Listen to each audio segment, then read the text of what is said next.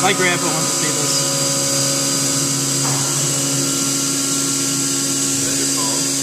No, it's my roommate's video camera. I, think it's like full 1080, 1080p too.